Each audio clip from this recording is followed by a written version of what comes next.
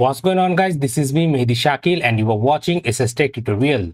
So guys, today in this video I'm going to show you that how you can remove background noise from your audio using the DaVinci Resolve in just one click.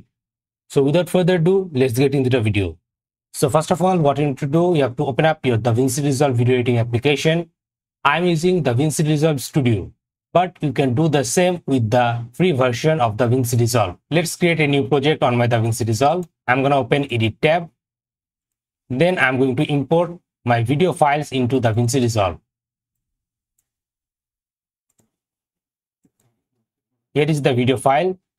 I'm going to drag it to timeline and this is the video. Let's change the timeline playback resolution to half for video playback and now let's listen the audio first.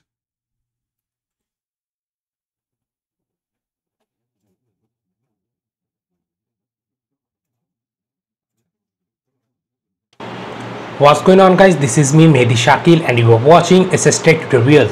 So guys, in today's video, I'm going to show you that how you can clone your... Here in this blank space, you can hear the background noise. Let me move my timeline cursor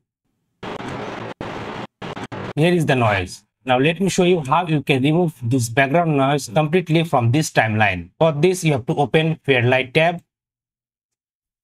And here is my audio track. Make sure this is in audio 1. And here you can see the audio 1 mixer. Now from here, click on this track effects voice isolation and enable it. Then click on equalizer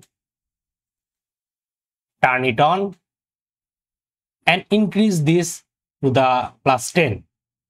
Now again go to edit tab and now again listen our audio carefully. What's going on guys this is me Mehedi Shakeel and you are watching SSTec tutorial. So guys in today's video I'm going to show you that how you can clone your so guys here you can see we don't have any background noise anymore in our video so guys, like this, you can easily remove background noise from your videos, audio using the DaVinci Resolve video editing software. So that's all for today. Thanks for watching.